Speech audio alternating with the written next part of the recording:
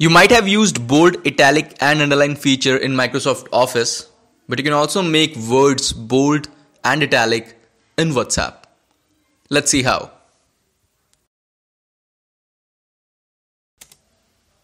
Hi guys, this is Gaurav and after watching this video you would be able to learn how to make words and letters bold and italic by using WhatsApp.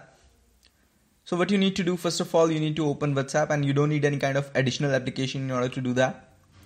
Select any contact by which you want to chat and write your text. For example, I'm writing over here how's the weather in Jammu.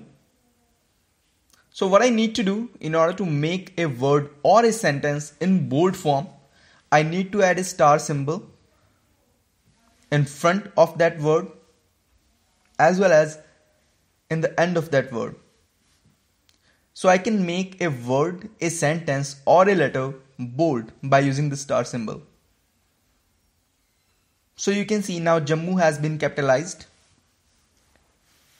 Apart from that, if I want to make a word, sentence or a letter in italic form, what I need to do, I need to use underscore. I will add underscore in front of a sentence as well as I will add underscore by the end of a sentence and you would be able to see the whole sentence will change into italic form. And this is pretty easy to use guys.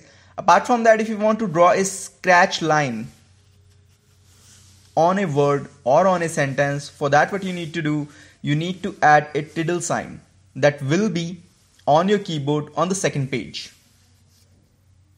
So in the same way, in the starting of a sentence as well as in the ending of a sentence you need to use that sign and you would be able to see a scratch line over that sentence. Thank you for watching this video guys. I hope I'll see you in my next video.